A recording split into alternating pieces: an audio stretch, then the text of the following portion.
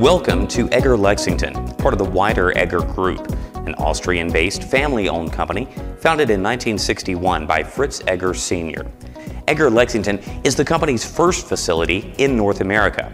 Here, we produce particle board and thermally fused laminate, or TFL, used to create furniture and interior design surfaces. Production began in 2020. Egger uses byproducts from sawmills, mainly wood chips and sawdust, to produce Egger particle board.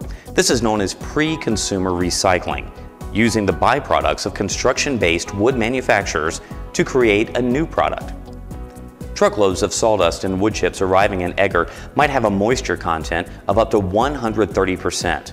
Nearly all the moisture must be removed during chip preparation. First, wood chips are sent by conveyor into two massive direct heat drum dryers as the air inside reaches nearly 900 degrees Fahrenheit. After 15 minutes, the moisture content has been reduced to just 2 to 3%. During dry chip preparation, the wood is sorted by size using six large shaking screens.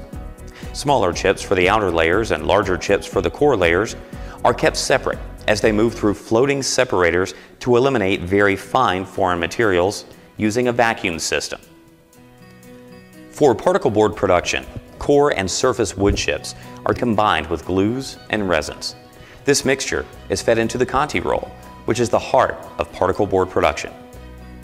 The Conti, or continuous press, is 141 feet long and capable of producing enough particle board to cover 8,000 football fields each year. First, the forming line lays down three layers of material known as the mat. Secondly, the mat is compressed to remove built-up air. The mat moves through the press and is heated to between 390 and 450 degrees Fahrenheit. As the boards roll off the press, they are cut into master panels as large as 10 by 18 feet. They then move through three star cooling stations. The boards are then sanded to a defined tolerance and inspected by a trained operator. The master panels are sawn into various formats, including 4x8 and 5x10 panels. They are ready for shipping or to be sent to the lamination lines. Lamination is what turns particle board into thermally fused laminate or TFL boards, adding color, design, or the appearance of solid wood. Egger TFL is sold worldwide First, individual boards are fed into paper layup stations. These decor papers have been impregnated with resin, which will act as an adhesive against the particle board. The papers are pulled into position. The board and paper are then fed into the press and exposed to heat and pressure. The impregnated resin permanently seals the paper onto the board while forming a moisture-resistant surface. Pressure applied by a hard chromed plate in the press adds the surface finish or texture.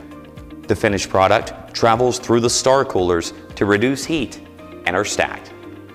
The finished pack can now be moved by forklift to the warehouse, ready to be shipped across the nation or across the world.